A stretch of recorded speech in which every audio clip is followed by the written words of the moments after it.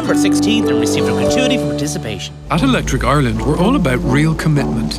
Just like the Saturday sports chaperone who's battled through weather and traffic all season and driven further than a Kerry to Derry bus driver. It's why we keep giving our gas and electricity customers the 8.5% savings they get on day one, no matter how long they're with us. For real commitment, visit electricireland.ie. Electric Ireland. Smarter living.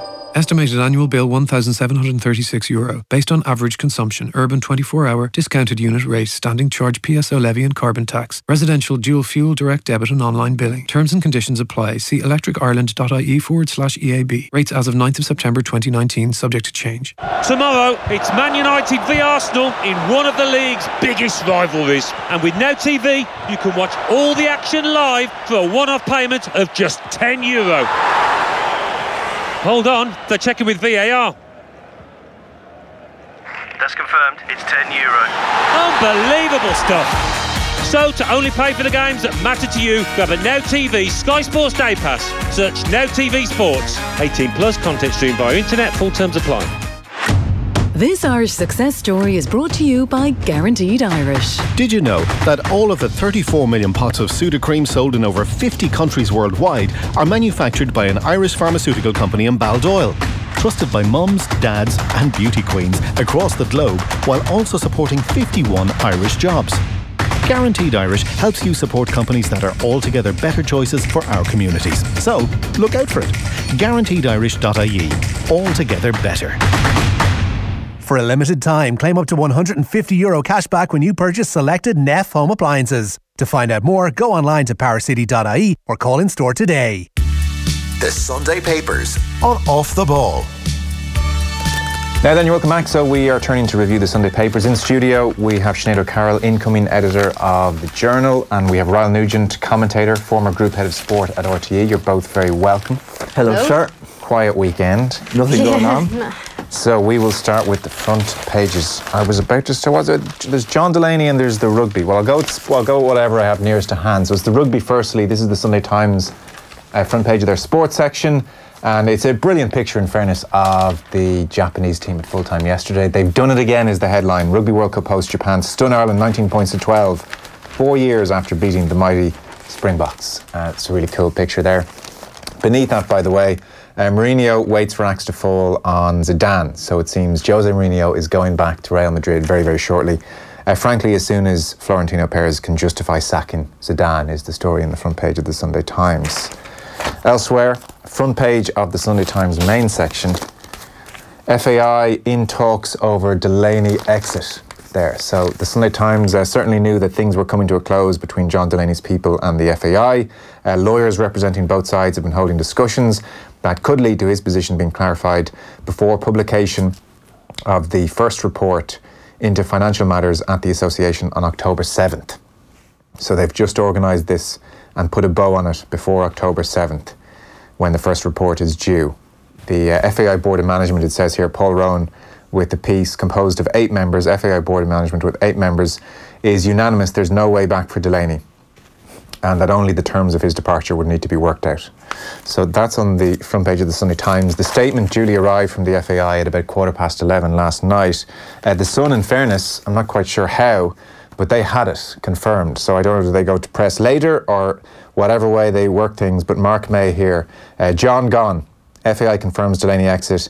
FAI late last night announced the resignation of John Delaney, and they detail the statement from the FAI, which is included then in page four of the Sun. Their back page, uh, obviously the rugby again featuring Japan 19, Ireland 12, land of the rising scrum, Ireland land in deep Schmidt after defeat. the Sun, which sums it up about right. Front page of the Sunday Independent then for you. Shock to the system, brilliant picture. If you're listening on the radio, it's uh, Conor Murray walking away, realizing what's just happened at full time, and several Japanese players around him, hands in the air. It is conceivable, if unlikely, that Ireland could still win this pool. Brendan Fanning's piece here beneath the picture. But the psychological damage from this defeat will be significant. That's the Sunday Independent. Back page of the Mirror then. Uh, City Van Hire, Van Bronckhorst uh, led into Inner Sanctum of Etihad operation as they prepare for life without PEP 2021. Uh, pretty interesting story this. So Giovanni Van Bronckhorst has been given a season pass access all areas. He's 44 years old now. to the Etihad, and it seems that the uh, people in charge there have decided he's the man to succeed Pep when Pep goes in 2021. That's if he goes. It's still up in the air what Pep's going to do. But they've given Van Bronckhorst access all areas for the season. He was uh, last managing Feyenoord between 2015 and 19. They won the Dutch title once and the cup twice, so they reckon he's their man. Uh, next, then Sunday World. Back page, uh, Schmidt hits Japan. Pretty good headline there. Schmidt hits Japan. Uh, blunt force trauma was painful sights at Brian O'Driscoll.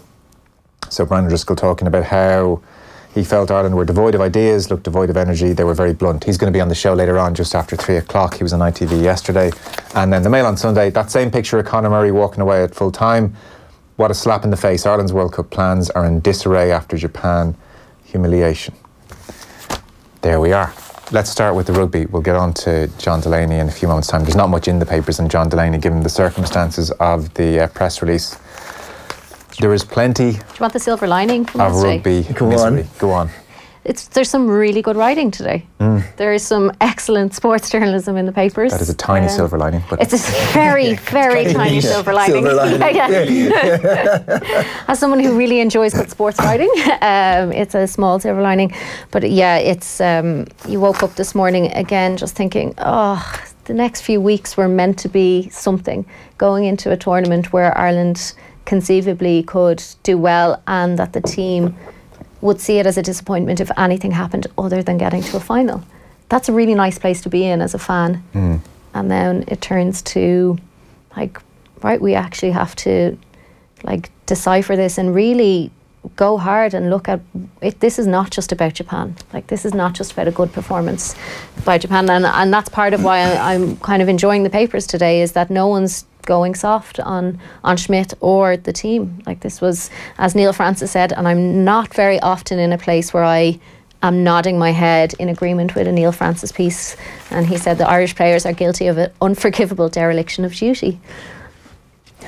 you know, I, I, I'm still 24 hours odd, 24 hours, maybe, maybe 26 hours later, kind of trying to. F- I still haven't quite figured out the, the implication of what happens next. I, it, it felt and feels like something very different to when other defeats have come before, and, and by that I mean like and and, and, Fa- Brendan Fanning sums it up perfectly. Like the psych- psychological damage for this will be significant. Um, he says a fourth defeat in 11 tests this year is hardly a historical landmark in the Irish game, but losing to a tier two nation is a shock to the system. It's conceivable, if unlikely, that Ireland could still win the pool without having do- to do anything extraordinary over the remaining games. Japan and Scotland between them could open the door, but who? And this is the key for me, and this is why I think there's this sense of darkness this morning about what happened yesterday. Whoever is waiting is now looking at the Irish side and brushing up on their basic, stand up to the Irish set piece, match their intensity, win the game. And that is the bit. It, it for me it it was so difficult to accept that Ireland got beaten by the better team on the day. They didn't play that badly. Yes, things went wrong, and that happens in every game. But that they couldn't figure it out, that they didn't manage to sort it out, and that they didn't manage to come away with the win that we all presumed that we were going to that they were going to do and, and, and everybody I don't think anybody saw this coming people will say I did say or I did suggest nonsense nobody put their hand up and said particularly after Scotland. Some some Yeah. people might have said it before. Yes, these these Yes. two games are as important. But once Scotland happened, no one thought that yesterday would happen. No, and, and I think I think some very very good writers and some very very good columnists. As much as you're admiring the writing this morning, there's been a lot of people kind of in that area blowing in the wind over the last couple of weeks because we've gone from world champs to world chumps pretty pretty quickly. And I think what it does indicate is. Actually, Ireland weren't necessarily that good last week. Scotland were that bad, Yeah. uh, and and the and I th- and I think we'll get, we'll get to it in a minute. One of the, one of the columnists inside, I think it's Eamonn Sweeney, talking about like, like it's the 2019 form line. This the the the the signs for this were in the performance against England and the performance against Wales in the Six Nations, not in the performance against Scotland last week. But I think that's why we're deflated this morning, and that's why Conor Murray looked so deflated in all those pictures across the papers. Is that this defeat is so bad because it goes back to what happened against England. It Mm. goes back to how we played in the Six Nations. It doesn't feel like an aberration. It feels like, oh, this is where we're at. Like And, we are. and the follow on from that is no matter what happens over the next two to three weeks, come the quarter final, be it the Boks or the Blacks, we'll be back here watching the semi finals, or they'll all be back here watching the semi finals on TV again. And you wonder, after all the promise, after all the. And, and you know, you, all the hype, all the. Everybody got on board on this thing again. And you, you start to bang your head off the wall and go, like, in, what what is it that quote about insanity being repeating the same thing over and over again and expecting a different outcome and and here we are again. We've been down this road. Like I've, i'm old enough to have been in the stadium when gordon hamilton scored that try and, and, and everybody was going ireland might that's actually the closest we've got to a damn semi-final since. And we've been through the 2007 scenario where it was going to happen. And we were in 2011 where we got beaten by wales softly in a in a quarter final and and here we are again building ourselves up. And I made myself a promise. Said, that's it. I'm done building myself up. and then 2018 was so exciting. Yeah. And then, but I think one of the things with the psychological damage, it's not just the psychological damage to the Ireland side, it's the psychological boost to every other team. So there is absolutely, like I added to that piece um, from Brendan Fanning, I added the words no doubt at the end of it. Like brush up on your basics, stand up to the Irish set piece, match their intensity, win the game, and there is no doubt. Any team going in to play Ireland now, they know that they can beat them. There's no seed. It doesn't matter if it's Wales, if it's South Africa, if it's the All Blacks. There's going to be the All Blacks aren't going to be thinking about those two losses they had in 2018. Not at all. Not at all. Like Wales aren't going to be thinking about the, the games in the lead up to this World Cup. And- and- They'll just be thinking, "This is Ireland. They're beatable. In we go. Out Right. we get." And, Like and unless we've got it completely wrong, uh, uh, and when I say we, I'll say when, unless I've got it completely wrong, this Japanese side is going to get beaten in a quarter final by either the Boks or the Blacks by 40 points if they make it to there. You know, you know that's going to happen, and that makes it even harder to to to accept. And I, I, I don't know what it says about about the psyche, but Eamonn, Eamonn Sweeney uh, in his uh, um, and and I, and I do like the way Eamonn writes, particularly off when he's got to write immediately rather than when he has the week to think about it, and he had to write immediately on this one. All those predictions that Ireland could win the World Cup turn out to have been the sporting equivalent of those late Celtic Tiger extra exhortations to keep buying property because the boom would just get boomier. Hardly anyone saw the crash, that crash coming either. In the, in the stands, Joe Schmidt looked like a man who just heard how his Anglo-Irish bank shares were doing. His players looked like guys who discovered what those Eastern European apartments they'd bought off the plans were really worth. Ireland haven't turned out to be the new All Blacks any more than Bulgaria turned out to be the new Tuscany. great line, great line. Um, I had the same ones underlined, and it- like, I think one of the things that stood out from the, the papers for me as well was there was a lot of talk around Joey Carbery kicking to touch in the 80th minute, which I think we all now agree that was the right thing to do, right? Like, I think when these were being filed yesterday, there was a few more question marks about whether that was the thing to do, or should we have tried to run it out and go the whole length of the field, even though we had all just watched what had happened the previous 80 minutes. Um, but th- there is some points along the way uh, uh, in the pieces, while they all start with that, they do start to look at like, there were so many signs throughout, like, we went 12 3 up and then just things started to unravel. Like just before half time, Eamonn Sweeney talks about Rory Best, over, Best overthrowing a line out, Mm. Tadhg Furlong knocking the ball forward in a tackle, Jack Carty putting, putting a kick off dead, and the Irish scrum disintegrating humiliatingly in the Japanese 22. Mm. Like that's all before the second half. Like Joe, do you know what I wanted? What I what I wanted to see yesterday for the first time, I reached from a player for the past, and I wanted to put him into that scenario yesterday. I wanted Ronan O'Gara to come out of retirement and play the last 25 minutes of that game, or, or maybe the second half of that game, because I gen like. It needed somebody to grab a hold of it and say, "We are playing in those corners. We are playing. We're going to kick down and we're going to play down there, and they're going to have to play their way out of there, and we're going to keep things tight, and we're going to do the basics absolutely right." And, and by the way, I think it is worth saying there, there are two other things that should be noted. A, Japan were excellent. Outstanding is, is the word I would use, beyond excellent. Yes, there was the heat and humidity, and none of us have played professional sport in 70% humidity at that level of intensity that's required, and it has to have an impact. And yes, the referee could have been questionable on a number of calls, but, but they are, for me, secondary it's a excuses tier at best. two team against a tier one team. that shouldn't come into Again, it. I, am not worried about it being a tier two team. I just think that the circumstances were the circumstances. None of those issues are, are the overriding point here because I think they need to be referenced. Hmm. But wouldn't wouldn't O'Gara, in your head, have come in and control that and brought a little bit more? But you don't need O'Gara when you have Johnny Sexton. Well, sorry, okay, Johnny was yeah. Jo- You know- Johnny Johnny would have been my second. Just I just thought that game was made for Rog. well, like it, it was, but I, I agree with you. It needed somebody who would take it fro- fro- by the scruff of the neck and go, okay, our game plan is wrong here. Like, yes, we got two tries in the first 20 minutes, but we are now absolutely wrecked. So we need we need to change up, and we need leadership on the pitch, and we need to play what's in front of us instead of playing rugby by numbers. And Johnny Sexton, I think, if he was on the pitch, would have changed it up. And is he injured or is he not? Well, Shane Horgan yeah, talks about it in his point. piece. Um, one shudders to think what Johnny Sexton thought about all of this from the stands, something that I tweeted yesterday to the annoyance of a lot of rugby fans. Um, but what was Sexton doing there in the first place? The most recent updates give the impression that he was fit enough to play, but Schmidt had opted for Jack Carty to start and Joey Carbery on the bench. Really? We are getting to the stage now when bulletins on the first choice fly half's health should be treated with the same scepticism about gre- that greeted those issued by the Kremlin about ailing Russian premiers during the Cold War. So we don't know if Johnny Sexton is injured or not. But if he's not, isn't it crazy that he wasn't on the pitch yesterday for a game that we mm-hmm. lost? Yes, it is. Because he, he goes on to say, this is Shane Horgan continued. A lot of hope has been pinned on Sexton and Murray being fit and firing on all cylinders in Japan. And if you think about 2018, mm. mm. those two had a hell of a run. Oh. I mean, ultimately, those two had a hell of a run in 2018. They were the consistent. They were the best in the world. Yeah. He says, right now it looks like Sexton is failing the first part of the equation, while he says Murray, who everyone was talking about in, in glowing terms after um, last week, says Murray yesterday flunked the second part. He was just too ponderous, uh, lethargy accentuated by the slickness of his opposite number. He said, if you had set a clock against the pair, that's the Japanese scrum half and Murray, for how quick they got the ball away from the ruck or maul, I suspect it would have shown Murray lagging a second behind. That is a huge margin at this level.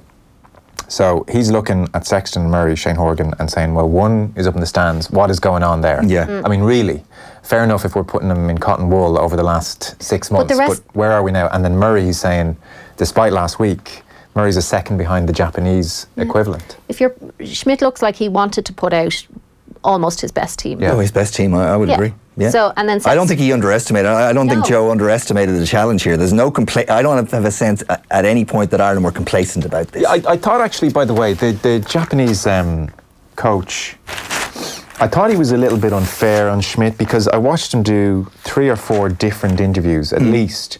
And every time it was like somebody who had sat down with a PR person beforehand and said, Well, what am I saying here? And he kept trotting out the same line that, well, we've been thinking about this game for, For a a year. year.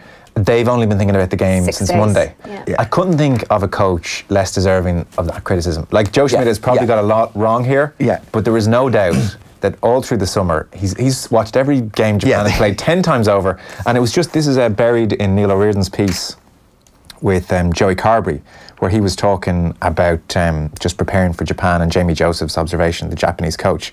And uh, funny, Carbery just um, said, or sorry, it's Carty here who says this. Uh, there have been numerous occasions over the summer when we were in training, and if we um, had turnovers, Joe would say the Japanese backfield could cut us up there and move the ball out wide. So he says we've been speaking about the Japan threats the whole way through pre-season. So this, the, like, I thought it was a, a bit disingenuous to be saying, "Oh well, Joe Schmidt, they've only thought about this since Yeah. Monday." But then didn't we get it really wrong if we have been thinking about it and we then play a game where we're- we're playing right into how Japan want to play? Like they've been telling us we want to keep the ball in play. Now the mm. stats don't bear that up as much as it felt yesterday. felt, yeah, yeah. But for for the key parts of the game, Oh, I never said we should feel good about the situation. yeah. It's still bad, but I don't think you can say it was complacency on. no, I don't think so either. I, I, no, I Ne- think the wrong game plan though. I think is Neil is Francis. probably fair. Neil Francis has a, has a, uh, is is right to point out to how well the Japanese played. That said, this is Neil Francis in the in the Sunday Indo. That said, uh, they were dispatched by an uncompromisingly direct Japanese side to whom the ethos of teamwork is everything. They played at breakneck speed, relied on simple footballing intuition, and were mentally agile and nimble through the 80 minutes. For Japan, there were no passengers; they were all crew. Yeah. Yeah, was- I, I don't know. I think just on the Schmidt thing, I Yeah. think so. There's one of the myths that has happened over the last few weeks is that there was a lot of experimentation during the Six Nations and preparation for the World Cup during the Six Nations. And there really wasn't. Like, Henshaw was played at fullback once. There didn't seem to be a huge amount going. uh, Definitely, there was no experimentation with players. You know, if Jack Carty was going to be starting a World Cup match yesterday, you would think that there would be some mix up in the Six Nations of who's playing when. That didn't happen. I can't remember a huge amount of change up in, in the game plans like the amount of offloading that was happening yesterday. So that idea that Joe Schmidt was doing a lot of experimenting in the Six Nations is definitely something that's been like that narrative has changed. Mm. Like we're we're looking at back at that. He said it a few times and it's been repeated going back to what you were saying about journalists blowing in the wind a little bit over the last few weeks. Like that has been repeated and I'm not sure what basis in fact that is. So I think there was some things wrong yesterday. Like Jack Carty obviously did well in the first 20 minutes. He was playing the game plan that, that Joe had uh, wanted, but then the team were absolutely wrecked. And Mm. we knew there was humidity. We knew Japan were going to be fitter than us. So that seems like an odd That- place to be in after 20 minutes. You're 12 3 up, but you're absolutely out in your feet. And you know that Japan are not going to be. And you know that the stadium's going to be with Japan. Um, I, d- I don't know. I think there is a lot of questions there still for, for Joe. So Shane Horgan, after he talks about the Murray Sexton situation and just kind of saying, I'm not too sure what's going on here, uh, he says Murray, in fairness, not helped by the team's tactic. So at the breakdown, uh, didn't commit many men when the Japanese um, ball carriers brought to ground. He said this was so, uh, foolhardy because too few of the Irish tackles were momentum stopping. So it played into Japan's high tempo uh, play. So in defence, n- not slowing down their ball, and it just played into their hands. He said then, um, conversely, when Ireland had the ball, it was predictably released to one off runners in a pod formation. Uh, none of them looked like they would have any penetration, especially against the Japanese defence that made a point of tackling low. And he's just saying uh, the lack of guile, totally apparent. He, yeah, this was the line. He said it was either that or they'd cut the ball back between the first and second receivers. It showed all the subtlety of a schoolboy team. He said it was as easy to read as a children's picture book. Yeah, it's it's so damning So damning. of the la- you know that this is the culmination of a six-year stint. Yeah, I, I like I said at the beginning of this conversation, I I am I am still struggling to come to terms with how we've woken up this morning where we are. Like uh, there's definitely there were definitely signs of it during the Six Nations last year. And signs of it, were- it was there for everybody to see. and like weren't signs, they were screaming neon billboards that were shouting at us for, for an entire seven week period. There's, there's, there's, there's no question about that. But I think we, ha- we have collectively, media and supporters, just had a genuine sense of belief from what we saw in 2018. But everything moves on mm. in all walks of life, and and and and if you're the same in 18 as you are towards the end of 19, then you're going to get worked out and found out. And that's what happens to us yesterday. And we were lulled into a false sense of belief last week because Scotland were lamentably poor. Yeah. And and we we walked into a left hook and got floored by it. And and the problem is I don't see the psych, the psycholo- psychological damage of that left hook combined with the quality and ability of the two teams that await in the quarterfinals, presuming that we still get there. And and the outcome feels inevitable, and that is what brings the the sense of gloom and Yeah. yuckiness to this and- morning. and to go back to the Murray point, like we'd all love to see Murray playing like we know he can play. He did play very well last and week. he played well last week, but yesterday there was a huge amount of lethargy there, and he was one of the ones who looked out on his feet first. The difference, the, sorry, but the difference between the speed of line defence from the Japanese, the, the ferocity of what was going around on around the breakdown, that nothing was easy. Conor Murray looks good when he's given the platform to look good. If he's not given the platform, and he's got, a, he's never no scrum half is. They're they're dependent on what is Well, it's happening good- well- directly in front of them. well, look at- and look he what- was given he was given nothing by the Japanese. Everything was scrappy or dirty or slow or it was just ha- really really hard. And but how do you explain, you know, uh, the botch lineouts, the one in 50 minutes where they're 10 metres Sure, the they're running into each other of, and of Stander, Stander and, and, and Farrell. Was it Farrell? I think it was yes, Stander. and Stander Farrell. that led directly to their try. Yeah, and a scrum that, that, that falls Yeah. apart. And Jack and Carty kicking a restart out over the end line. So that's the bit where I think there are the mitigating circ. Now, the kicking the ball out over the line, not sure that, that I'd put that in this, but I, I think that's going. Everything there is 50 minutes plus. Yeah, Am I right? I think everything there is after 50 minutes. There was some sloppiness before half time, though, as and, well. and mistakes are going to happen, but they get amplified. And there was, I mean, uh, in the last couple of passages of play, I would suggest to people if you have it on on your DVR or wherever you have it, go back and look at the last passages of play. James Ryan, to me, looks like he's out on his feet. He was. He literally had, like, he was on, on empty. We're going to talk about free diving later on. Like, this guy had no oxygen left in the tank, and and I, it has to be the humidity. it Has to be for me. Yeah. And and I think that's where you have to say there are mitigating circumstances without it being the overriding s- But big also, excuse. like part of it is that we knew that, so we we are going into it having selected a lot of the same players who played six days ago. So you know it's a six day turnaround. You know it's humidity. Like you have thirty one players there. Like that all has to come into the selection. Rory Best played eighty minutes. Yeah. Like now, doesn't that look so foolish? Imagine he had picked secondary players or, uh, you know, made five or six changes and they had lost. We would be sitting here saying, What was he doing? What was he Complacent doing? Joe Schmidt did not take Japan seriously. Like a six day turnaround. They do it in the Six Nations regularly. time. Yeah. I just don't, I don't buy the six day thing. don't- I don't either. Jane, Jane I don't Easter either. yesterday yeah, said it's a World No. Cup. That's what you're preparing for. That's my They've point. been you're in Portugal, preparing they've for training that. for nine weeks. But if you, it, then you can't use the humidity thing as an excuse because you're, you know that you're training for the six day turnaround. You know it's Would the humid. so that- humidity have got them though if they had a seven day turnaround? I think it would. If it's if we're saying it's humidity. Yeah. Yeah, I think But I I- think you, I'm thinking. Look, I, again, I don't want to overstate on it, but we're going. You look at what's going on in Doha as well, where it's thirty something mm. degrees, and it's not the thirty something degrees at night. It's the humidity that's that's getting 70%, yeah. the seventy percent, and you're watching world class athletes at three, five, ten thousand in marathons just stepping out because they, they and they've prepped in the same way. If it's not part of your DNA, I guess it's in. I, I'm, I'm surmising, having not. Yeah, but I'm not even talking. I'm not even that. talking about four or five changes. I'm just like look at Rory Best, 80 minutes. yeah, I can't argue with that. He's 37 with years old. 80 minutes. It's going to get any of us. Yes. And then coming on like, and he showed it like that throw that that line out that disintegrate like that was. Yeah. That was a tired, lazy, lethargic. very throw. strange. That's a and, strange and that's, one. And Yeah. that's what that is. Yeah. And I- I- he's still on the pitch. Why is he still on the pitch? He's still on the pitch because Peter O'Mahony's not there and Johnny Sexton's not there, and Schmidt wants one of those three on the pitch at all times for leadership. Got to take a short break. We're back in two seconds. We, we'll get through the rest of the rugby. No, we'll, we'll, we'll, we'll quickly uh, get through some of the other um, pieces, sum them up, and then we'll move on. Back in one sec. This weekend, Newstalk is getting behind the Irish rugby team as they continue their campaign in Japan. With thanks to Euronext Dublin, the new home of the Irish Stock Exchange. Listen up, class. Aldi's Play Rugby sticker promotion is back. Collect official Irish rugby stickers every time you spend 30 euro in Aldi. Fill your primary school's poster for a chance to win one of two 50,000 euro prizes or one of 10 10,000 euro prizes for your school's playing facilities. Tomorrow, Japanese for beginners. Konnichiwa, kids. Aldi, official supermarket of the IRFU. Full details at aldi.ie slash play rugby. Promotion runs 10th of August to the 8th of November 2019. Tell me something hilariously horrible. Putting worms in my sister's shoes. When my granny does kisses, her beard is a bit spiky. I like worms. Stealing my nanny's teeth. Putting stinky socks in my brother's bed. David Walliams, the world's worst children's stories, are now in McDonald's Happy Meal.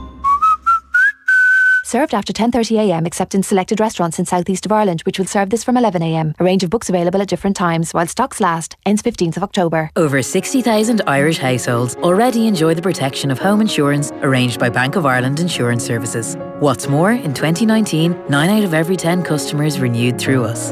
Search Bank of Ireland Home Insurance and get a quote that you'll be right at home with. Bank of Ireland Group. Begin. Information accurate as of August 31st, 2019. Bank of Ireland Insurance Services Limited is regulated by the Central Bank of Ireland. Home insurance is exclusively underwritten by RSA Insurance Ireland DAC. Underwriting requirements and terms and conditions apply. Be confident in the next car you buy. At DoneDeal, you can find cars from over 1,000 trusted dealerships nationwide. Now you can search for cars with warranties and monthly finance options to meet your budget. DoneDeal, Ireland's largest car showroom in the palm of your hand. That first glorious sip of the holiday as you recline into the sky. Tempting. With flights from just 499 euro return, it's even more tempting. The Emirates sale now on. Visit emirates.com forward slash IE. Fly Emirates, fly better. Book by October 1st, 2019. Limited availability, terms, conditions, and fare exclusions apply. Bruce Betting, one of Ireland's leading bookmakers. With best odds guaranteed on UK and Irish horse racing, Bruce Betting has you covered. And with the Bruce Betting app, we're always giving you more. T's and C's apply. Bruce Betting, in store, online, and now on your phone. Over 18s, please gamble responsibly. See dunlewy.net. Sky TV with Netflix and Sky Broadband too. Q comedy, superheroes, and more. Q Netflix originals galore. Q Sky Atlantic's drama showcase, and watch at your own pace. With broadband up to 1 gigabit lightning fast speeds to sort out all your online needs. Get Sky TV, Netflix, and Sky Broadband from €59 Euro a month for 12 months. Search Sky 59 today. Available in selected fibre areas. Set up fees, T's and C's apply. Switch and save at Carphone Warehouse. Save up to 189 euro on exclusive deals with three you won't find anywhere else. Get the Samsung Galaxy S10e or the Huawei P30 with a smartwatch GT for free. Yes, free. Both are available on a 45 euro a month plan with three, with all you can eat data, but only when you switch at Carphone Warehouse. Any network, any phone, any plan. Only Carphone Warehouse. T's and C's apply. Offer subject to availability and 24 month contract.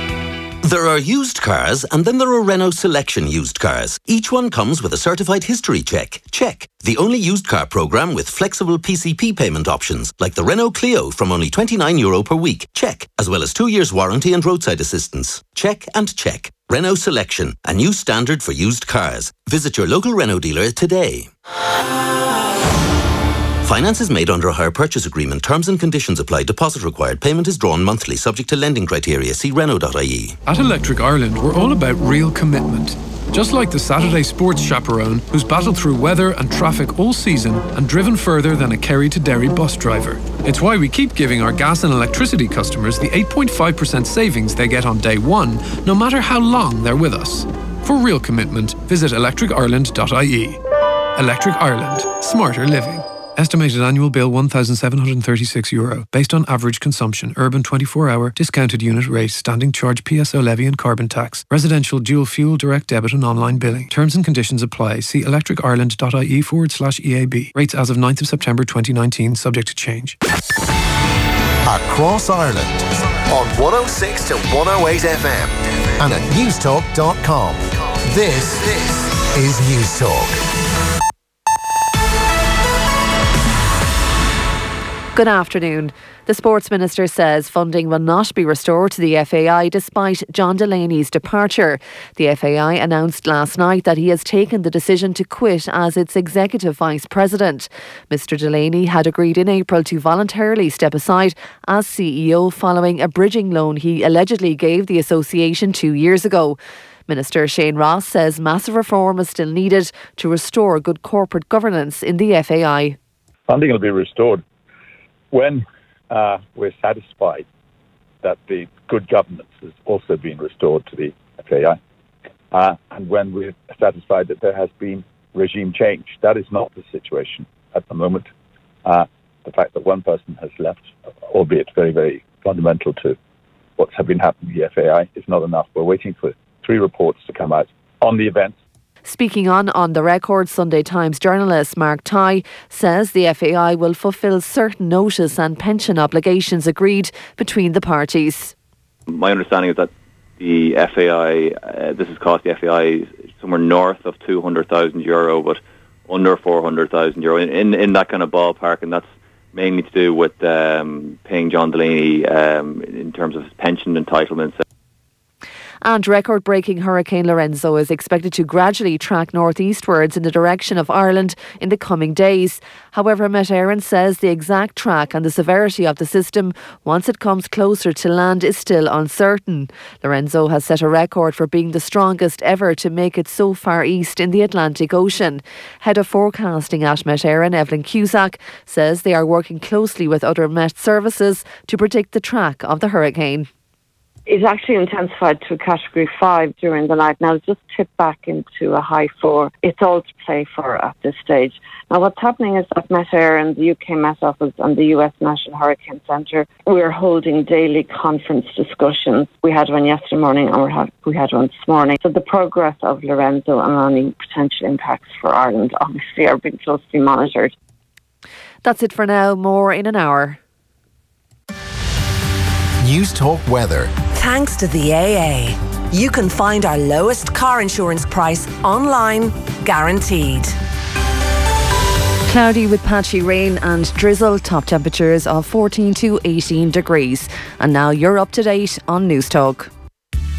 The Sunday Papers on Off the Ball.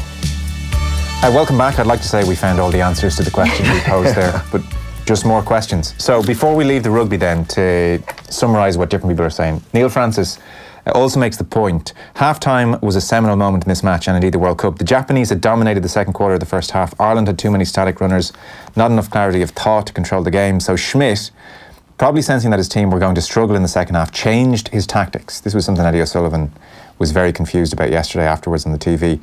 Uh, Jack Carty, handy footballer, and in time may mature into a good international uh, standard at half. But in the 20 minutes leading up to his eventual departure, he was all over the shop. And maybe given the instructions, he was probably aware that he needed to keep the Japanese pressed in their own 22. But the quality of his kicking was poor, and it gave the very dangerous Japanese back three the opportunity to run back at the Irish and keep the ball for another relentless series of fetches. I'm quite sure, quite sure if Johnny Sexton had been playing, says Neil Francis, that Ireland uh, would have won the game. He just does not allow that type of performance to happen around him. So that's one explanation for what happened to Ireland in the second half. Interestingly, Stephen Jones, somewhere in his piece, mm. says, and it would be an optimistic Irishman indeed who would imagine that even Johnny Sexton could have breached the red and white wall, I suppose. I don't think it's optimism. I, Johnny Sexton's on that pitch. We we win that game? Mm, not sure that we win that game, but we definitely perform differently. I think, and and I don't. I mean, I think I think it's Francis again who makes the point that that it's typical of Joe of Joe Schmidt's Ireland. Like either they all play well. And they all get yeah. eight out of ten or nine out of ten, or they all play poorly. They, they, you don't get one guy that's played well and everybody else has played poorly. Seems to be the system. In um, this was a point actually, Sinead, you were talking about there during the news about the Irish offloading game and how there was like a sense of adventure. Peter O'Reilly says there is an irony here that even when Ireland were at their most successful, there was the odd dissenting voice suggesting Schmidt could take the team to another level if he'd only be willing to give the players license to offload rather than just um, set up another ruck. Maybe we should be careful what we wish for because he said Ireland had seven offloads, which is millions by their standards. uh, why would you suddenly introduce risk against the one team that craves looseness, players who feast off turnovers, 13 of them by Ireland, and broken play. So Schmidt afterwards was asked about this. And he said, no, we didn't go out with an, an, explicit idea of playing any differently from the way we normally play. The way we started the game is the way we play the game. Like that, but that's, not, that's we can not, all see what though. happened. Like that is not what happened, and this is part of like the Joe thing. Like you know, taking a lot of what he says with a pinch of salt, like what Shane Horgan was saying about the Cold War analogy. Yeah. Like that it's patently untrue. We could see what was happening in front of us is different to what Ireland Usual. usually do. Yeah. And the offload was one of the big things about that. I had a question about whether there was some experimentation that didn't happen in the Six Nations happening with South Africa in mind. You know, we can't just do if I think if they had played boring Ireland rugby, they would have beaten Japan yesterday. If mm. they had mm-hmm. done what they usually do, box kick like what box kicking there was two box kicks in the match. There yeah. certainly wasn't one for in 47 the first half. Minutes. It was a long, long time before we saw it. So obviously it's a different game plan you had. like Joe, come on, like you know, you're not, not lie to her. You're not you're not playing behind an iron curtain here, you know. So I think, and um, the thing about the, if Sexton is there. Murray probably plays better. There was a huge difference um, if you were watching this morning with what Gareth Davies was doing. Sure, I, so I'm going to put it there because I don't think that Sexton makes Murray play differently. I, I, genuinely don't. I think Murray plays differently depending on what's happening in front of him. What's happening at the breakdown is how Murray. It depends on how involved and how influential Conor Murray is on the game. So I don't. I don't. But I think everything changes if Sexton Johnny's is there. Yeah, yeah. Well, yeah. Your best player is going to change everything. Yeah. Always. Mm. It was the same when when O'Driscoll was playing and O'Connell was playing. Those guys were missing. Ireland were a different beast. You know, it's always been.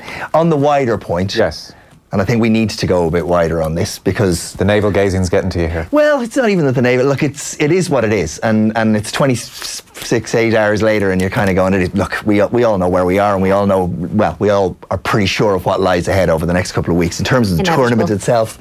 I think Brendan Fanning does a, a, nice piece in the in the sense of world. The, the headline is "World Rugby rejoices as the underdog bites back," and it's not just in the context of Japan beating Ireland, but it's also in the context of Uruguay beating Fiji, and the context that that as much as the the tournament has, and, and fairly being criticised for the gulf in class between tier one, tier two, and tier three nations in some occasions since its inception. Yeah. That that gap is closing, closing, closing all the time. And and and having watched a lot of rugby over the last ten days, you can see it. Like I mean, with the exception of South Africa blowing Namibia out of the water yesterday, I think it was fifty-seven Seven something three, yeah. the games have been by and large at least engaging and interesting even if you you knew there was an inevitability about a number of the uh, or a significant number of the Even of the Russia, games. Japan. right but there'd be no yeah right right Russia Japan was a decent game like you know and, and to watch and engaging and full house and different audience and a, and a, Russian aren't even meant to be there. yeah, and it, the whole thing had a has has has improved. I think as a product is really uh, uh, as a tournament to watch and engage. There's no 120, 140 to nil uh, um, uh, uh, games, and, and that's to be well.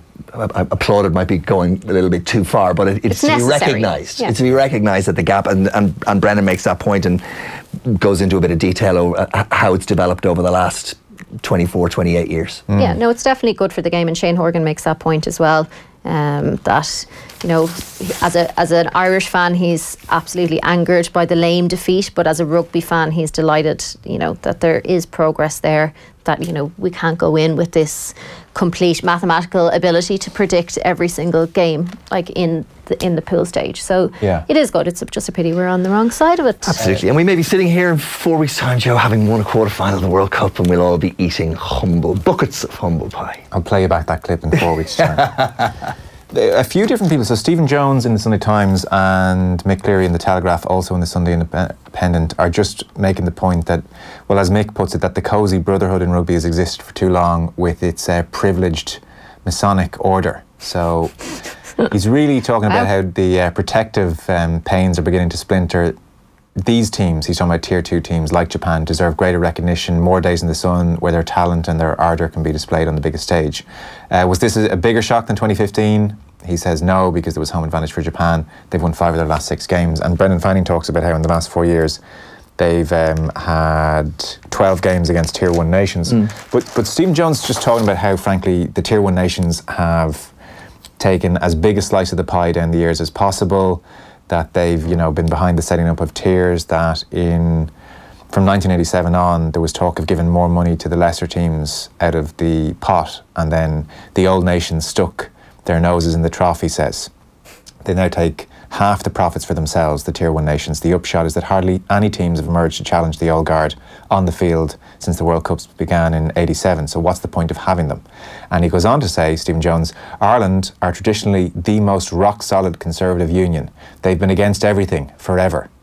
This morning, have they any moral right to keep um, Japan down the queue? Of course not. And just goes on to say that more money needs to be given to these nations, need to be given um, better schedules at the World Cup. In fairness, now that's not the in the gift of the IRFU alone. well, well, yeah, and I and I, I like I, I, Stephen's uh, Stephen Jones's point is well made, and I think that discussion needs to continually be had, and act- actually actions need to be taken on it. If, if uh, I mean, I, I don't think rugby is quite as bad as cricket is, as uh, in terms of keeping developing nations out, Yeah. um, or growing the game in a meaningful way. Yeah. or the Um, GAA and, and Minnow counties. yeah, well, there's another. to There's navel-gaze a bit more, Joe. Right. But There but, is an element but I do think I think that's an unfair years. comment on the IRFU for what it's Is worth. it? I, yeah, I do. I, I'm, I mean, and I have a, have some understanding of the way that works. The IRFU are not uh, the most conservative. Simply not the most conservative.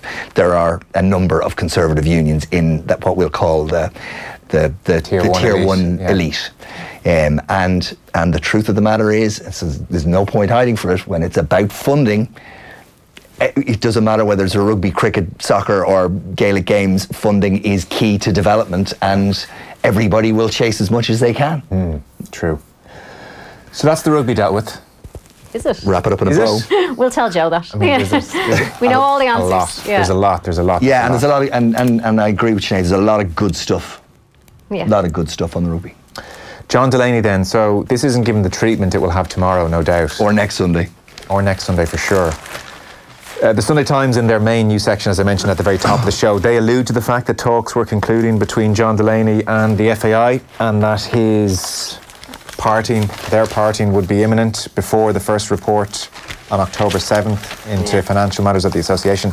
and the Sun did manage to turn things around. So on their front page, the Sun did manage to include the FAI statement. John gone, FAI confirms Delaney exit. Mark May on the front page there.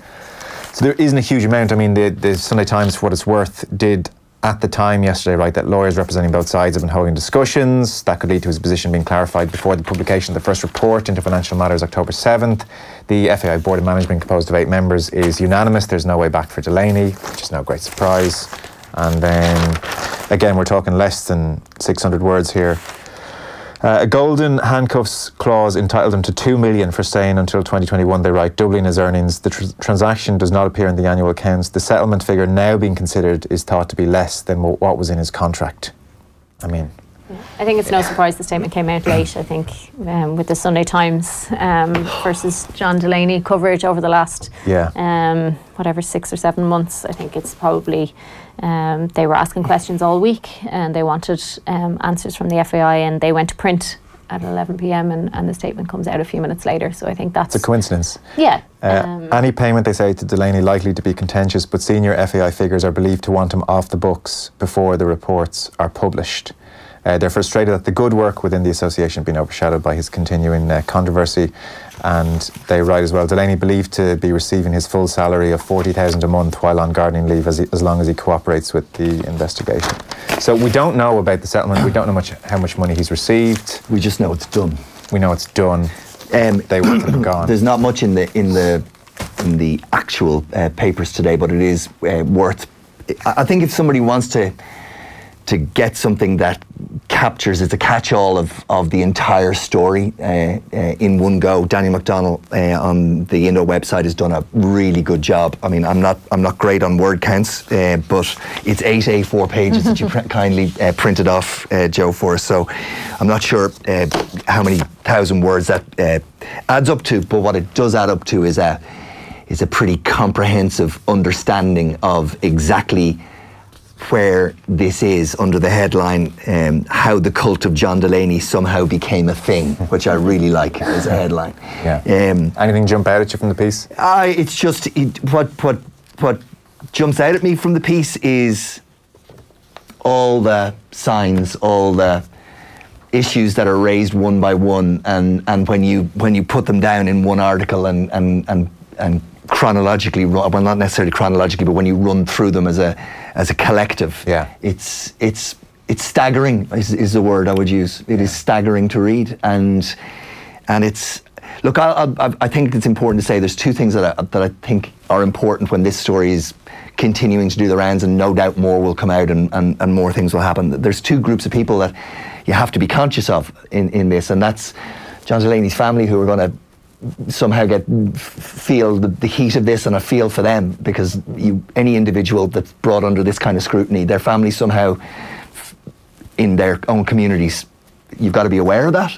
And secondly the the the, the FAI employees mm. you know and I know a lot of them and worked a lot of them with them over the years and it's incredibly tough on them. I feel very sorry for them under the circumstances. And and you have to be conscious of them. But been tougher on them over the last few Oh. years. A lot of them on lower pay. it's and brutal, losing and, and, and that's referenced in here. Yeah. And I mean, it's absolutely brutal, and and it's a it's a, it's a really like I, it, it's a full stop. This uh, um, uh, press release and the end of, of the Delaney era, and, and there will be more paragraphs written, but it's a full stop in the story um, as things stand today. And, and uh, Danny McDonnell does a really good job of, of just laying it out for you, and you make your own mind up on it. Yeah, and there's there's one piece of news which is um, I think characteristic of of a lot of what we know now about John Delaney in that in that piece. Um, and it says it's understood that he would have preferred a longer a longer departure statement than the short four paragraph effort that was low on achievements. So I think even in the in the dying Yeah. minutes of the negotiations, there was still a, a wish to be seen as an, an extremely successful CEO of the organisation. I don't get even that- with all the all the different things that have been pointed out, particularly the one around the Aviva Stadium shambles. That, as Daniel McDonnell says, a shambles that would put the CEO of most businesses on a sticky wicket. So, and not on a in a negotiation with how much money we're going to leave with. It's so it's it's uh, while it's a full stop. I think there are there are still an awful Oh yeah, no, no, no. I'm not saying that's questions. it. I mean, it's just that's the end of that chapter. Yeah. yeah, and and and it uh, it, it moves on from there. I, I- like I, I have to go back. I don't get.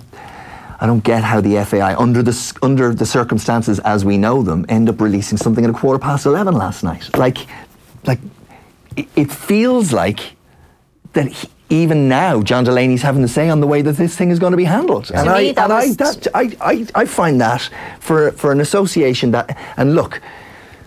I, I, I'll careful here, but every, it, these things happen in life, for right, right or wrong. S- circumstances evolve, and, and associations, businesses find themselves in circumstances that they would not have walked into uh, in a considered way, and they find themselves in those. How you handle them at that point is what marks you, and. And I understand that there are certain things that they cannot say and do, however frustrating the public might find that, however frustrating their own constituents might find that. I understand that. Mm. However, there are certain things that you can control, and there are certain things that are red lines. And releasing that at a quarter past 11 last night is beyond my comprehension. But it was reminiscent of the Gibraltar game when they released the news he was becoming executive vice president after the game very late that night. It's Right, so in you want- exactly the same style. Or so you want to clean it up and you want to say to we're drawing a line Yeah. here and we are going to move on and we accept what's happened here should not have happened and we are going to do everything that we can publicly to assure you that it, that it is now being taken care of and there's some stuff we're just not going to be able to discuss.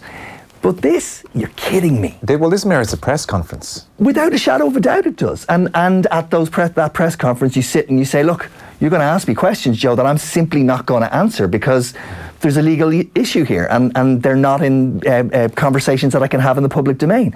But there are things that we can talk about in the public domain, and we will do our best to answer those questions. But but we're sitting here again in this fog of of nonsense. And, and, and it feels like this has again been orchestrated to land at a what while all that rugby stuff is going on over there and the newspapers are out and Mark Times Sunday Times are going to be over here we'll put it in a place where we think it's going to have the least impact. I may be deeply unfair in saying that but that's what it feels like. Well, yeah, it does. It does feel like the one side of the negotiation negotiation had this as one of their asks that this goes out in a press conference after a press statement Uh, in a a press, press conference, statement. Yeah, uh, after new- newspapers and particularly the Sunday Times goes to print. And, and, I, and again, and I would have been, I would have, I would have said this uh, uh, in my old life as, uh, in in RTÉ. Like, like when you are in, when you are in receipt of public money, whether you like it or not, you are answerable in a way that you are not answerable if you're working for a private organisation.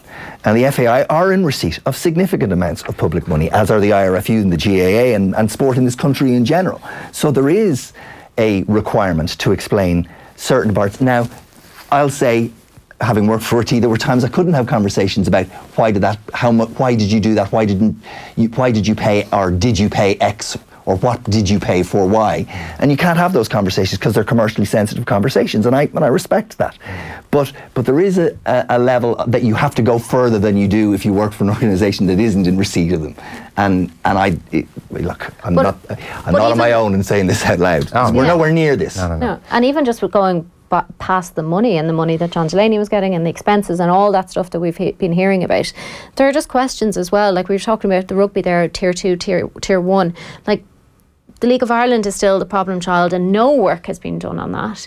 There's the women, while lots has been done to grow the women's game, we're still way behind. So if you're looking at how far ahead other countries have gotten in the last 10 years on us when it comes to having a really strong women's football team, a women's football league, which obviously is, is quite far away to having any kind of strength there, Yeah. um, and to having young girls play. Like we have, we will continue to be a tier two team. Like, but we absolutely should have a World Cup under our belt by now, and we don't. Yeah. And look how far everyone else is ahead. It- and that's because of what has been happening. So it's not just about personalities and cults. And Sure, no, no, but I, about look, work Sinead, not being I. I, I, I agree with you on that, but I think there is a point where you have to draw a line in the sand and say you can't keep, like, you have to learn from the past, but you can't keep referencing the past for where you are at the present. Right now, you've got to draw a line in the sand and say that was then, it is what it is, because there's now nothing you can do about it.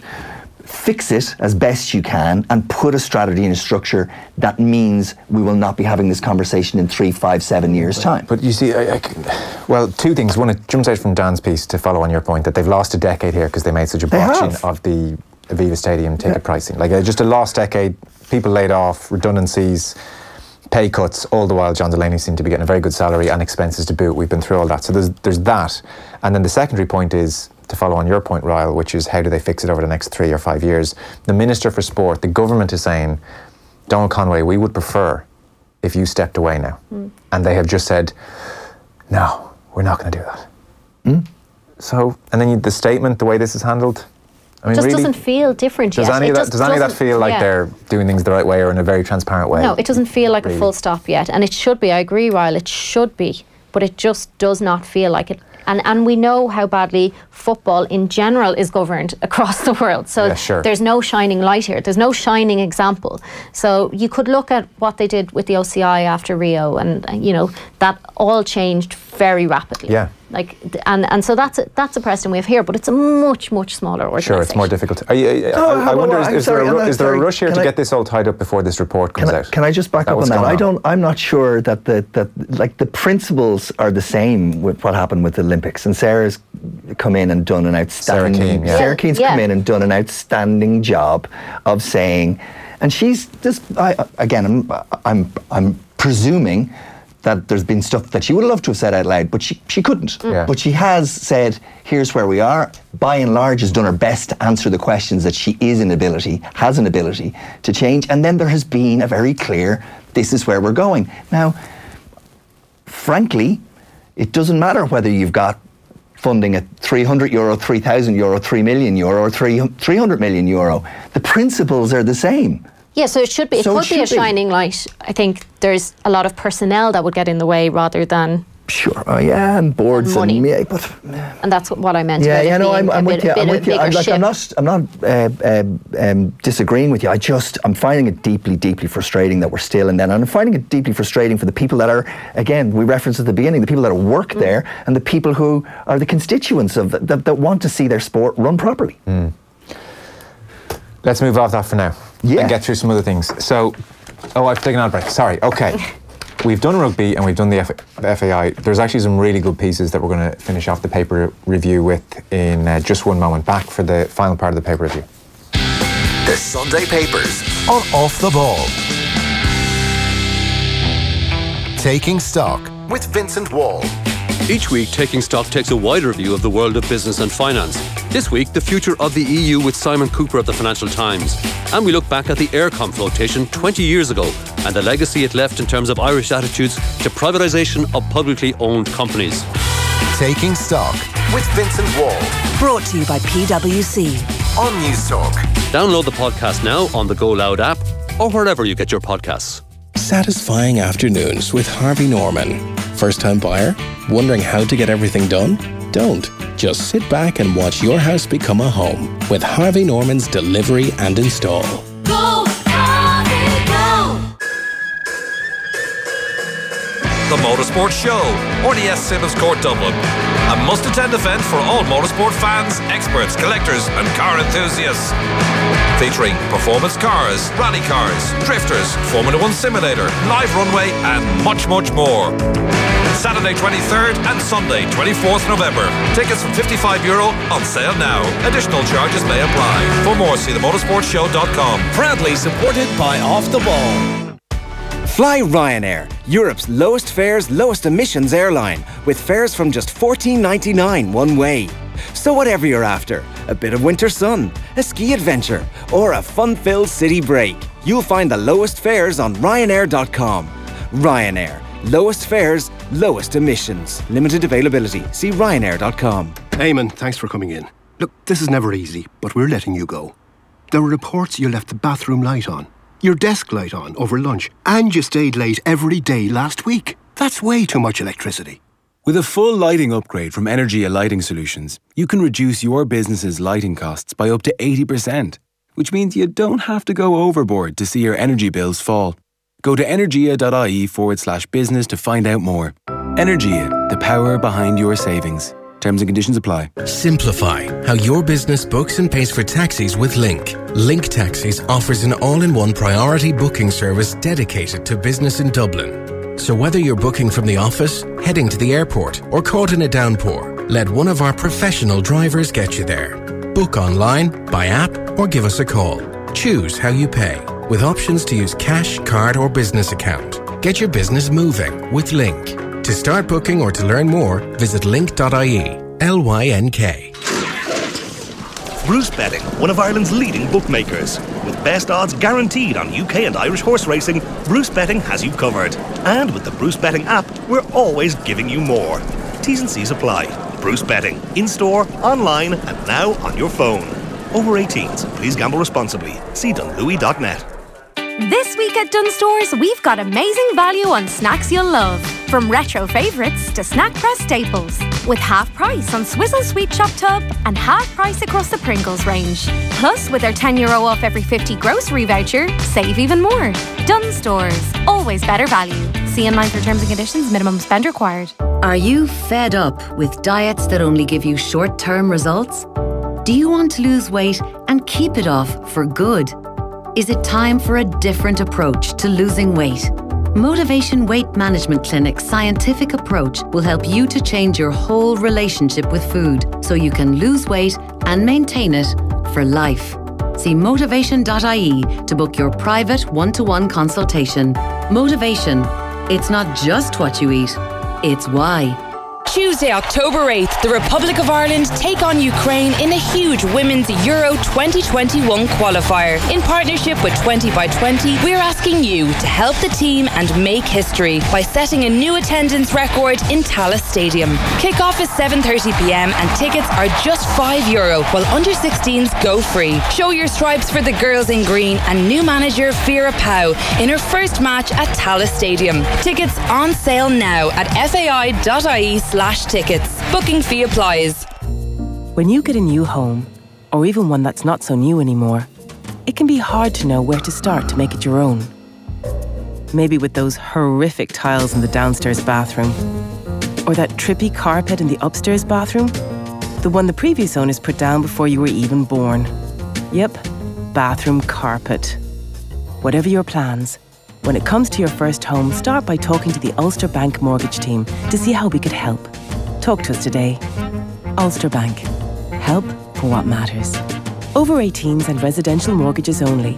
Ulster Bank Ireland DAC is regulated by the Central Bank of Ireland. Happy retirement, Maura. Actually, I'll be retiring next.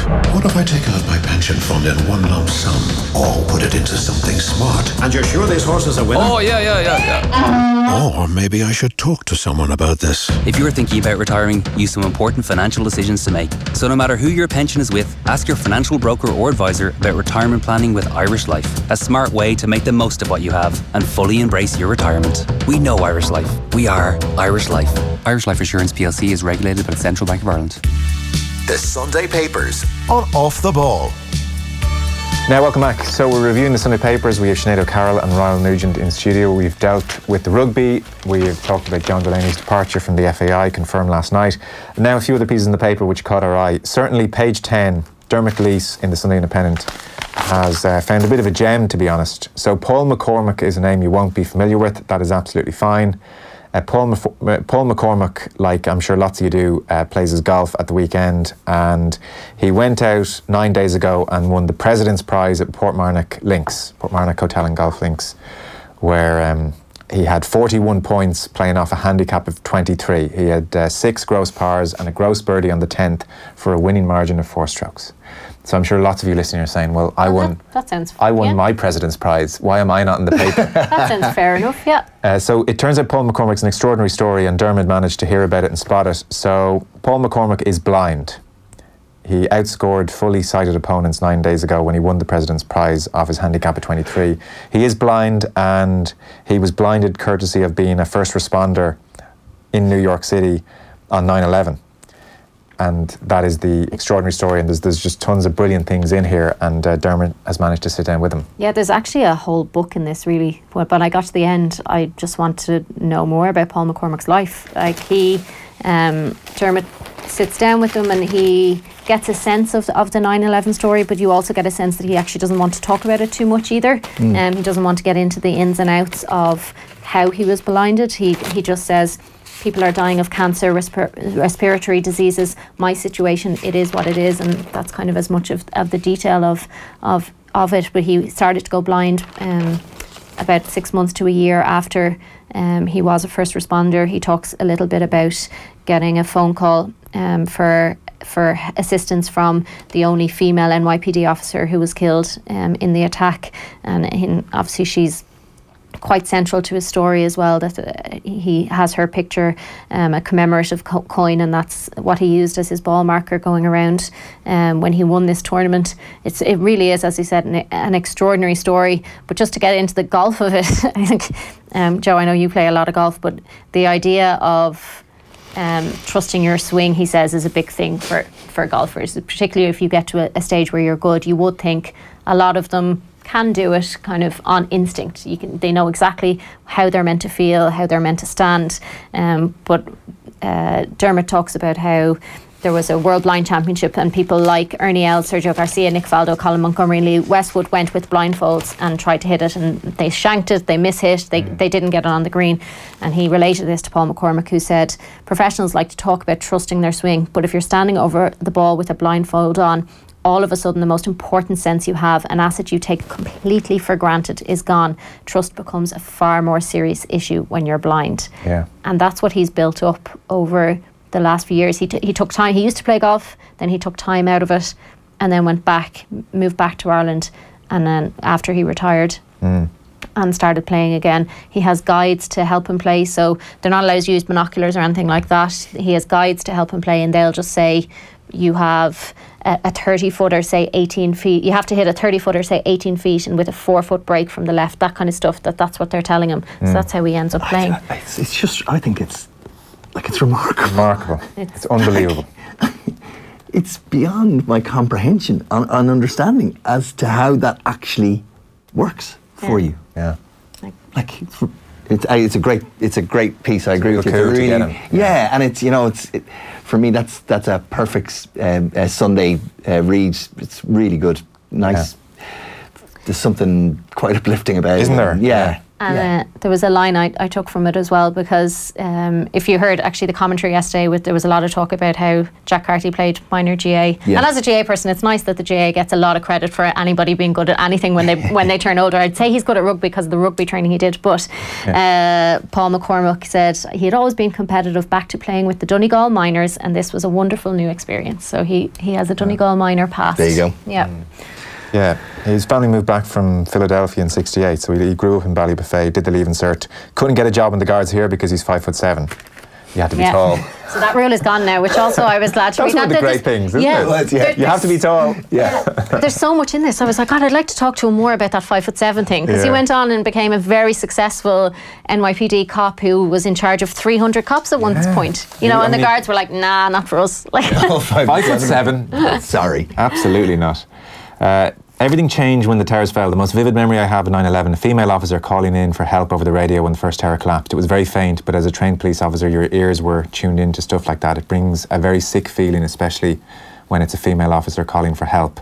And as you said, that's Moira Smith, who, and she's on his ball marker now. Um, I, I'm not surprised at this comment as well. He said, We arrived at the scene. I couldn't get my bearings. The towers were no longer there. Eventually, I was confronted by a breathtaking mountain of rubble. It took us a while to know what to do. There were no police guidelines for something of this magnitude. Uh, Can you imagine the confusion? What the hell do we do? So uh, it was when just. I, when I uh, first moved to New York, I lived there for a couple of years, and um, one of the embarrassing things was after a few months, you didn't want to look like a tourist, so you did use the tallest buildings to navigate east, west, north, south, because everyone that's how everyone talked there. So you really didn't want to have to turn around on a block because you'd gone the wrong way. Okay. so you did use the tall buildings to go right. That is that is east. That is west. Um, so th- that is uh, like. On that day, to just be confronted with a completely new skyline must have been absolutely baffling. Yeah. Uh, shout out to Luke McAteer. That, he's his guide. So he, Luke tells him where to go. And he says, I don't ever ask, I want to know anything about the bunkers or the water or the out of bounds. I just want to be pointed down the middle of the fairway. don't we all? Yeah, Paul? yeah, don't yeah. we all? I mean, Many a caddy has been sacked for saying, don't hit it in the water. You're not meant to do it. Avoid that tree. Yeah. So that's amazing. It really is. Well Yeah. done to him. Uh, fantastic piece. Paul McCormack lost his sight, has taken up golf, and he won his monthly, or his President's Prize rather, excuse me, at uh, Portmarnock Links at the weekend, playing off a handicap of 23. As he said, though, 41 points. I'd be delighted with 41 points Listen, any day of the week. any day of the week. any day of the week. I've never tried to hit a golf ball blindfolded, but I'm going to try at the weekend and see. I can't imagine it'll be pretty. Yeah, I can't even. No, I can't even. Uh, yeah. I have enough trouble hitting it with. Well, listen, yeah, you're Two playing, eyes aren't you? open. You started playing, haven't I you? started playing. Yeah, yeah. Uh, fully in middle age retirement. Gave up with camogie, started playing golf. Yeah. Okay, here's someone who is playing a more adventurous sport than golf. Claire Walsh is in the Mail on Sunday. Free diving. Okay, what is free diving? We have a guide there in the top right hand corner. Uh, Claire Walsh is from Leixlip and she is a free diver. Yep, free diving is a form of diving that relies on holding one's breath until resurfacing rather than the use of a breathing apparatus. Although organised free diving has only existed as a sport since the mid 1990s, the practice has been used by pearl fishermen and spear fishermen for thousands of years. Um, so the, the sport is divided into a number of disciplines. Constant weight um, is the maximum depth following a guideline with both bifins and monofin permitted. Um, so there's different ways you can go down and there's different depths you can go down and it's all about how long you can stay down there for. So, So- like when you're a kid, go underwater, how far can you go down, hold your breath, and that's who wins. Yeah. That's who wins, And- right? And, but but there's, isn't there the kicker about what happens when you come back up? So you you tell them what happens. so when so you up, have got freaks me when, out. when you come back up, if you if you. I I mean, I, I, like we're sniggering, but it, when you think about It's it, if life you, or death. Yeah, if you pass out hmm. in the first five seconds of resurfacing, you're disqualified. Doesn't count. Yeah. because you have you have not actually done it. You, no. It's like in the long jump, stepping over the line. Yeah, you or have as I actually was not saying, gone that in an far. all you can eat if you vomit within a certain period. If you pass out, oh no, unlucky, you passed out. So she talks about like her parents come to see her recently, and it was the first time they I think they'd come to see her in a while, and she passed out. And she was saying it's quite quite interesting because your last memory is of being in the water, and then you wake up in a bed and you're like, oh no, I passed out. So, so give give this some context. I think because it's it, again a bit like a bit like playing golf with blind. Hmm. Like that's difficult for people to to see how that might or feel how that might be for them. Like th- this is th- there's a way of of measuring this. Yeah. Like Claire Walsh can hold her breath on land for five minutes and fifty nine seconds. Yeah. Like, I just want to stop and five minutes and 59 seconds she can hold her breath. Like, And to give and to give more context, when she free dives and she's holding her breath, so she has not like it, this is not like scuba diving. You're not This is there's- straight down. There is no cans of oxygen. There's nothing. Yeah. And she goes down 60 meters, and that is about the height of Liberty Hall in Dublin. Yeah. So that far, you are that far underwater with absolutely nothing to help you if something goes wrong with your with your breath, whatever exercises Yeah. they do to stay down there for I that know long. insane. She's gone to a depth of 44. She's aspiring to go 70. So she's the Irish record holder of 44. Wants to go 70. She's gone to 60 in training, Oh, not in in, training, competition, she? but she's gone to the Liberty Hall depth in training. The yeah. deep, deepest dive in the sport's history is 130 meters, set by a Russian last year. 130 meters. Like, she makes a really. So this is a brilliant point, and I guess it would be the thing that might freak all of us out. She said, if you're 35 meters down in the big blue with just one lungful of air, uh, the last thing you need is a negative thought in your mind. So she's talking about like the importance of staying calm. Like if you're, she says, uh, once a negative thought comes in, everything pauses, your body can shut down. You do not want to start thinking 50 meters down if you don't have enough oxygen. Like I think we've all had that horrible experience of as kids underwater at sea, you go a bit low and you're kicking to the top, you're running out of air. Yeah. Mm. So imagine a sudden bit of panic at 50 meters down. I can't like I, this is and it's inc- also I mean, I've- unbelievable. I've, done, I, I, in a in a different life many years ago, I did some um, diving, and and there are two things that strike you when you go down to any sort of depth, and I, I, I can't. I don't ask me what depth I went to, but it wasn't Eight it wasn't- meters. Yeah, we were we were. Let's say it was it was it was deeper than you would go in the bath. Okay. Right. Okay. So, but there's two things. One is the darkness the gen, the genuine darkness when you're going down and you look up and it starts to, like it is that is really disconcerting. Is it claustrophobic? Oh, is it- absolutely. And then the second thing is uh, uh, the fear of, of having height issue when you're underwater. So you can come to the side of a, of a, uh, uh, a cliff is the wrong word, but a precipice of some description and look over and you get you get thrown by the sense that you might fall. However ridiculous that might sound.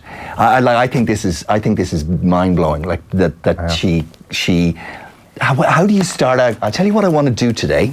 I want to dive with no oxygen as far down as I can, and then come back out without Well, without. th- one of the things that I just took me kind of by surprise in this is she's from Leixlip in Kildare, Yeah. where the sea is not anywhere close to you. The This- Liffey's about three feet.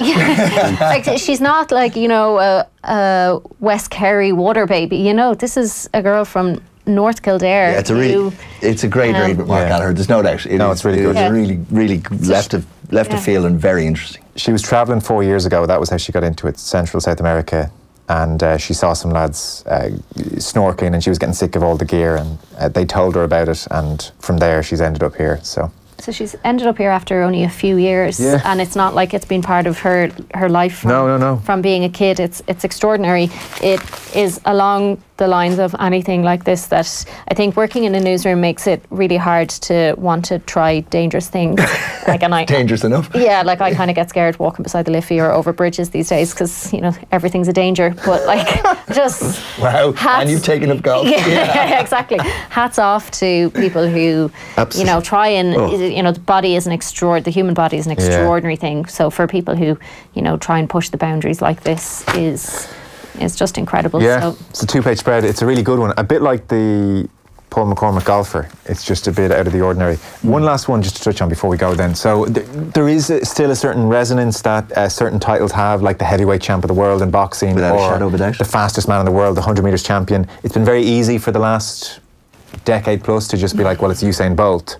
So now we have to get used to the fact that it's gone a bit different. So Christian Coleman, Rick Broadbent, one of those writing about it in the Sunday Times, Christian Coleman won the 100 metres in Doha, the sixth fastest time in history. He's 23 years old. He's American. Uh, two things about this. One, it seems nobody watched him do it. That's Doha's problem. And two, uh, Christian Coleman has missed a drugs test this year and also twice not told them his whereabouts. And he's managed to get off a ban, which he should have got because of slight technicality. I think the tester turned up one minute outside the hour that the tester was meant to turn up on. So he was able to say, well, okay, look, even though I wasn't there, you weren't here on time, so that one doesn't count. So that is the big cloud which is hanging over Christian Coleman, and that's kind of the gist of the piece. yeah, Yeah, and big he cloud won- hanging over athletics. Sure. Yeah, and he won. He won the hundred meters, as you say, in Doha last night, and and and it's interesting in the in the report. Um, yeah, by by Rick Broadbent, it says it says Lord Coe, the IAAF uh, the IAAF president, says he is good for the sport, that being Coleman. But the remark is probably informed by Coleman being preferable to Justin Gatlin, the defending champion and a man with two drug bans behind him. Gatlin, now 37, still did enough to get a silver medal in 9.89 seconds last night, a reversal of the Americans' position two years ago when the veteran was booed out of London by an unsympathetic crowd. Like there are two issues. One obviously is the is the is the story of of where 100 meter race running is and and has been, I guess, guess all the way back to Johnson and, and the doubts that have been there the whole way through uh, uh, since. And then the second is for the sport to be in Doha. Like I watched Brendan Boyce, saw the footage of him this morning coming sixth in the 50 kilometre walk overnight, and and it's again we talked about the humidity earlier for the for the rugby players at, at whatever it was 70 percent. These, these races are being run. The marathon and the 50k walk were starting, I think, at midnight local time, and like I just don't get it. I don't get why a sport. I, I understand. I get it as in I understand that the financial imperative was what, what drove the decision, but but I don't get it that you take your sport somewhere where where your athletes actually can't perform. And if you're talking business language, you're taking your assets. Like you, you So- have no business without Right. without your athletes. Right, and, and then secondly, so you do that, and not alone are you are you undermining the ability of your athletes to perform or your assets, which we'll now call them, but you're then putting it in a place where no one's showing up to watch your assets. So why is no one showing up? Because the tickets haven't been sold. Because there's no interest there. Like it's. I think it's not just the Doha thing. There is less interest in track and Uh, field, and thing, that's the if they went to London, they went to London, or they went to Munich, or they went to Berlin, or they went to Paris, that stadium would be full. They, they, they like again, ignore the the rights and wrongs of where the sport is at certain points. That for for the sake of this argument, Mm. it's about like it, it just simply wouldn't have happened if it if it had been put in a major European city. And indeed, I don't think it'll happen when it goes to the states next time round.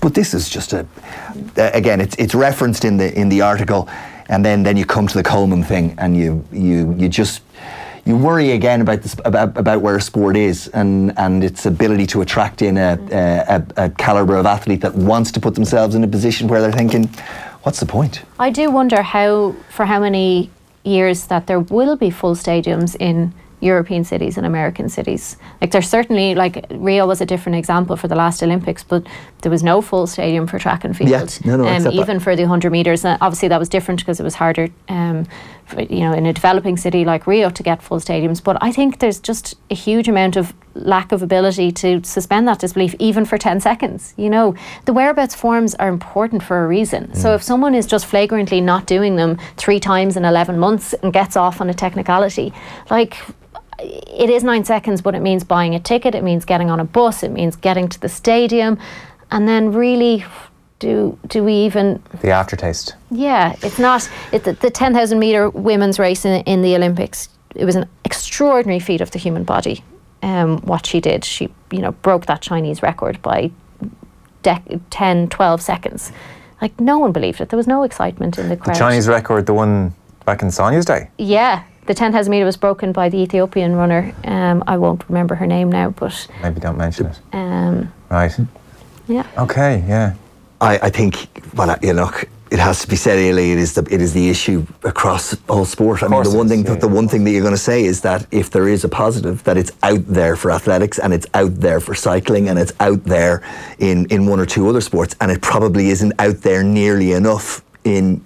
In, in other sports, particularly in team sports. It's true. And because of what people have seen in cycling athletics, a lot of bodies don't want it to be outed. And we don't want to be sitting here talking all the time about drugs. Yeah, but it, we don't, and, and, and I don't think I don't think we, we should add that every conversation mm. has to be framed in it. But I think every conversation should be framed in the fact that it is there, that it's, and there's no point pretending otherwise. And and it is incumbent on us all and, and on the on the governing bodies to try and, and grab a hold of it because because what, what you hate to see is are sports that are are, tr- are grappling with it, whether they're doing that successfully or, or, or whether they're doing it appropriately. I'm not in a position to uh, to give a view, but what you would hate to see is when they're de- trying to deal with it, that the sport plummets off the edge of, of, of into, Popularity. yeah, into obscurity, where those that don't deal with it turn a blind eye to it or just blatantly igno- ignore it, The interesting prosper, mo- and that that doesn't encourage Yeah, yeah. people, right? No, it's true. The interesting model is the NFL one, where they're just like, this guy's out because of a hamstring tear, this guy was done for testosterone, and this guy uh, a concussion. abu- um, and this guy was done for domestic abuse, and we'll, we'll should- just should be back, in four matches. Yeah, yeah. yeah. I mean, that's just that's a different level. Yeah. Um, interestingly, though, just a quick mention. I hadn't realised um, with a view to the World Cup. So one of the reasons the marathon and the 50k walk is so contentious is that they have to obviously go outside of the stadium Mm. where it's like 30 gazillion degrees and 80% humidity. So within the stadium now, the air conditioning works. So it's a it's a balmy 23 to 25 degrees, controlled at all times. Yeah. Because I thought with the World Cup coming there, that the air conditioning wasn't going to work in the stadium. So it now seems like it does. It, it will work. okay. So, but they, they still have to go outside at some point. I'm Oh, still sure, going to be yeah, yeah. surprised if uh, if every single professional footballer out there makes himself available for The World for Cup. the World Cup. Uh, going back to like their body being their asset, like I don't know if a lot of people will put their themselves At risk. at risk in that way. I might Be be, the wrong, Zika virus. would. There'll be a Zika virus. Yeah, I, it's something like that. I just do think that there's a lot of people who'll be looking at their contracts and thinking, I'm in this for a lot longer than you know a quarter final in the World Cup. Um, Semi-final? uh, shout out to uh, we were, had a Thomas Barr was unlucky yesterday. Yes, Um, well worth mentioning. a mistake at the, at the final hurdle probably cost him, and you could see that he uh, he just didn't uh, wasn't quite on his technique and just l- missed out um, on on making the last eight. So that was a pity. He is a championship runner, so I think he would have been hoping to be in that final eight. Yeah. We are pretty much done. I can see you, Ryle, scrambling for something. I'm scrambling for something because I, I think it was just referenced, and it's uh, it's a Mick Clifford piece around the. Remember the whole Jason Sherlock has fallen out with Jim Gavin piece? Yeah, yeah, yeah. Um, and I'm struggling for it, and seems there might have been. Ah, I can't find it. I don't know where it's gone. It's down the bottom of one of the pages. Yeah, there it is. Oh yeah, Sherlock admits split story had some substance. Almost as if a pressure valve has been released, there has been a refreshing honesty and candour in the interaction between the Dublin players and management with the media over the past few weeks. The latest was Jason Sherlock's admission that the story last February that he had left his role as the coach of the Dublin panel as a result of strained relations in quotation marks was not, not entirely groundless, and it goes on to explain why. But it's it's funny, isn't it, how something makes all this noise in in February and then it's a footnote in September And it's that like, actually it's true. It was, it was a bit of And they're almost saying the story getting out brought things to a head and Yeah. forced a Yeah. chat. Are we together or not? it's just it was it's worth it's just worth a little read from Mick Clifford. Yeah. That is us done. There's loads more in the papers, as you might imagine. Sinead O'Carroll, incoming editor at the Journal. Ryle Nugent, commentator, former group head of sport at RTE. Guys, thanks very much. Appreciate it. Thank you. Uh, we'll take a short break. Busy hour coming up. Back in a sec. The Sunday Papers on Off the Ball. Listen up, class. Aldi's Play Rugby sticker promotion is back. Collect official Irish rugby stickers every time you spend 30 euro in Aldi. Fill your primary school's poster for a chance to win one of two 50,000 euro prizes or